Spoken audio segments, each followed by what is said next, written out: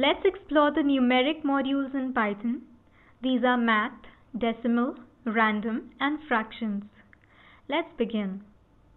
Let's import the math module first. The ceil function turns 3.4 to 4 and factorial of 5 is 120. Sum of 10.1 values is 0.999 but doing this with the fsum function from math gives us a correct 1.0. 6 is the greatest common divisor of 12 and 18.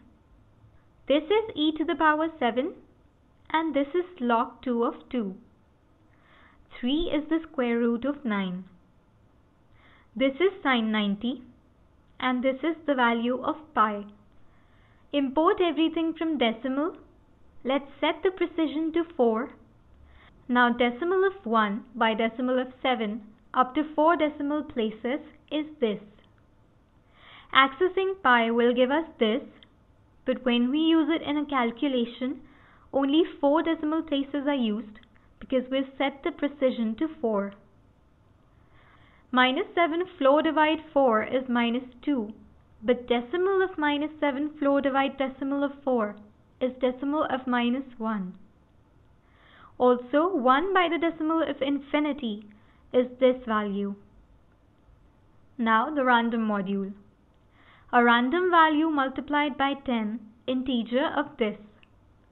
A random value in the range 1 to 11 with a step of 2. A random selection from this list and 4 random values from this list.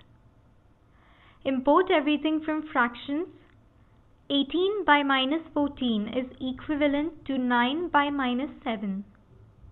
And fraction of this means 7 by 100 000. Let's do a problem now. Write a function that takes in a list of names of those who have purchased a lottery ticket. Unbiasedly, pick a lottery winner the number of tickets purchased does not affect the probability of being picked. There's this lottery function that takes in a list of names from the set of names so no one has a higher chance of winning. Create a list and pick a random value from this.